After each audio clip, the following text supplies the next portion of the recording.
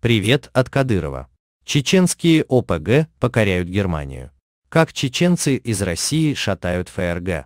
По данным Федерального управления уголовной полиции ФРГ, на арену организованной преступности Берлина вышел новый игрок. В настоящее время в поле зрения органов правопорядка находятся около 250 чеченцев, входящих в различные нелегальные группировки, пишет в журнале «Фокус Кристиан Астхольд». Эти отличающиеся особой жестокостью и цинизмом банды уже взяли под свой контроль некоторые высокодоходные сферы криминального бизнеса германской столицы, например, торговлю наркотиками.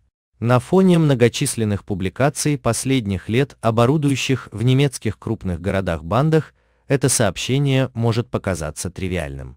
Но это ничего не меняет в том факте, что сейчас в лице чеченцев в криминальном мире Берлина формируется группировка, способная взять под контроль многие из его сфер. Тот, кто захочет найти объяснение этому феномену, должен будет более комплексно подойти к проблеме, чем это делалось до сих пор, так как долгое время опасность, исходящая от чеченских банд, недооценивалась. До последнего времени чеченцы проявляли себя в первую очередь как исламисты. Кроме того, они были малозаметны на фоне больших арабских кланов, без ведома которых в Берлине уже давно не заключается ни одна сделка, и насчитывающих подчас до 800 членов, что фактически лишает полицию какой-либо возможности пресекать их преступную деятельность. Из этого политики сделали вывод, что несравненно более мелкие группировки потенциально менее опасны, что в принципе не лишено логики, но в случае с чеченцами – вывод оказался ложным, ибо их ударная сила никогда не базировалась на количественных показателях.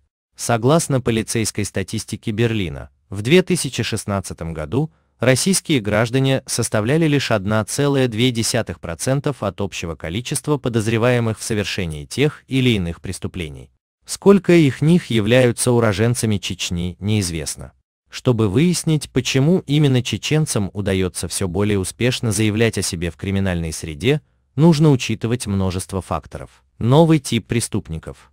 Благодаря своему историческому опыту чеченцы обладают многими качествами, которые в мире организованной преступности оказываются весьма кстати. Еще во времена царизма этот мусульманский кавказский народ всегда отвечал на все попытки его поработить фанатичным сопротивлением господству Советов он до последнего момента также относился скептически. Это неприятие государственной власти не смогла изменить даже депортация всего чеченского народа, предпринятая по приказу Сталина в 1944 году. В такой обстановке часть чеченцев выработала в себе манеру поведения, которая обеспечила этому лишенному родины народу выживание в ссылке 1944-1957 а в конце 90-х годов помогла преступникам из их среды последовательно провести изолирование своей этносоциальной системы от чужаков. В результате до сих пор чеченские сообщества, в том числе и вне криминальной сферы, не выносят свои внутренние проблемы за пределы своего круга, считают доносительство непростительным грехом, приравнивая его к бесчестию. Тот факт, что солидарность чеченских правонарушителей ограничивается узкими рамками своей этнической группы, подтверждает и название, которое присвоила себе их самая известная группировка в Германии, Гейла Nation Вайнах, что можно перевести как партизанская нация вайнахов.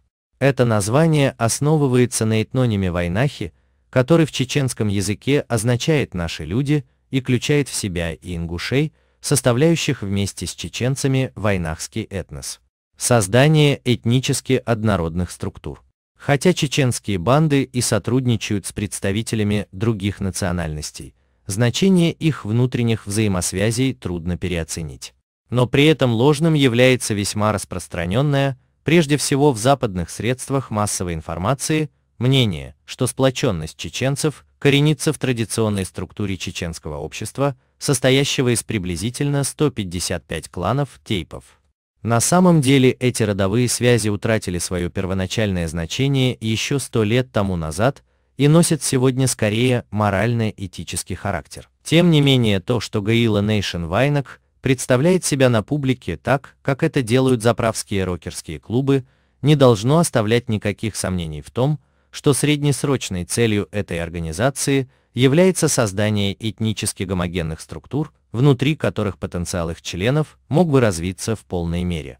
В этой связи можно сказать, что чеченские криминальные элементы нашли в формате рокерских клубов весьма удобное средство для проворачивания своих дел.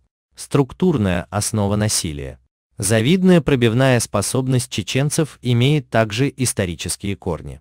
В отличие от Европы, где общество после 1945 года практически маргинализировало насилие, на Северном Кавказе оно до сих пор является легитимным средством разрешения конфликтов. Кроме того, многовековая оборонительная борьба с центральным государством привела к тому, что склонность к насилию укоренилась в менталитете чеченцев глубже, чем у многих других народов. В комбинации с низкой лояльностью по отношению к государственным структурам – которые Россия постоянно навязывала чеченцам против их воли, у них возник тип характера, который и используют криминальные элементы. Воры в законе оказались бессильными. Тот, кто хочет узнать, насколько боеспособно чеченское криминальное сообщество, должен бросить взгляд в недавнее прошлое России. Вследствие краха системы в 90-е годы российское государство испытывало большие проблемы с подтверждением своей монополии на насилие, благодаря чему организованная преступность расцвела пышным цветом, сея страх и ужас.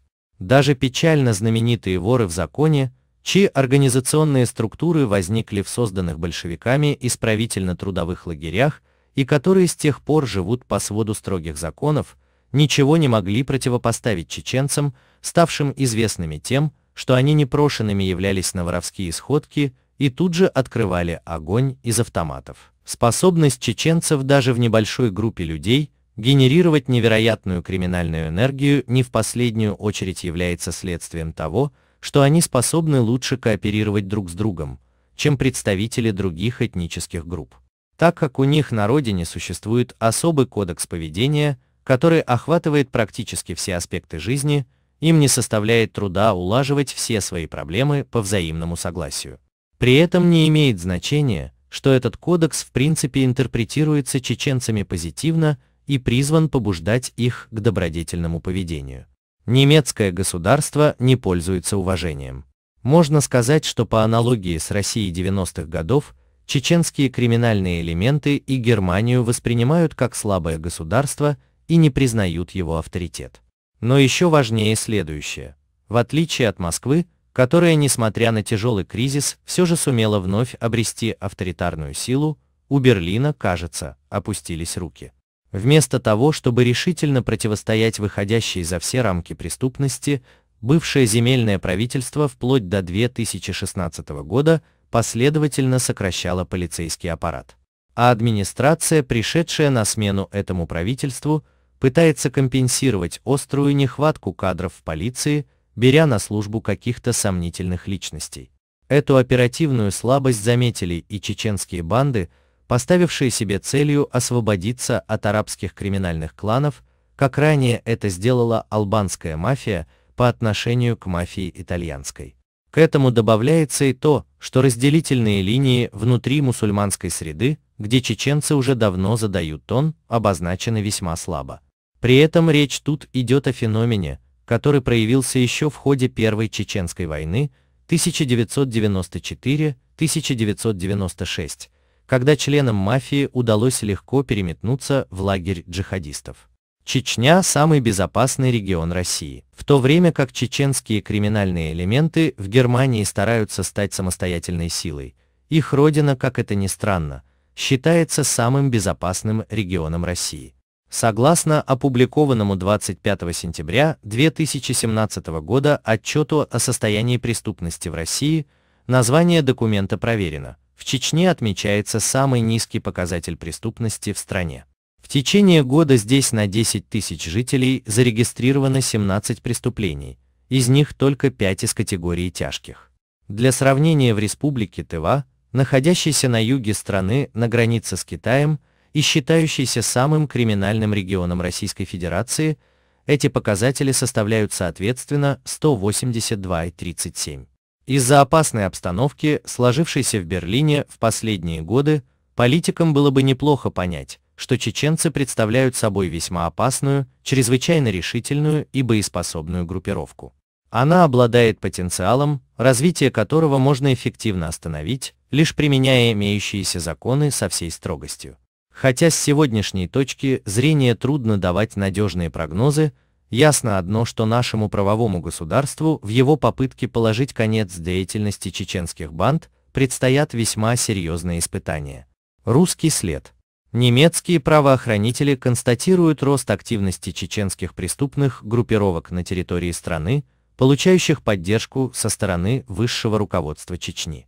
Об этом, как передает Укринформ, глава Федерального ведомства по уголовным делам БКА Михаэль Нагель заявил изданию Frankfurter Allgemeine Zeitung. Федеральное ведомство по уголовным делам держит в поле зрения до 250 человек из Чечни и Северного Кавказа.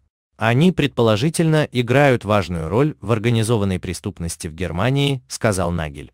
По его словам, эти группировки ведут себя все более активно, не удовлетворяясь уже работой наемников для других группировок и проникая в криминальный бизнес. Они подминают под себя целые направления, такие как незаконный оборот наркотиков, грабеж, кражи и изготовление фальсификата. Глава ВК отметил высокую склонность к насилию у членов этой категории преступных группировок. Многие из них пошли подготовку к школах единоборств. Озабоченность правоохранителей вызывает и то, что эти группировки вкладывают заработанные преступным путем деньги во вполне легальные предприятия. Нагель также обратил внимание на личные связи и финансовые отношения некоторых из этих лиц с лидером Чеченской республики Рамзаном Кадыровым. По его словам, не стоит недооценивать опасность, исходящую от северокавказских и особенно чеченских групп правонарушителей.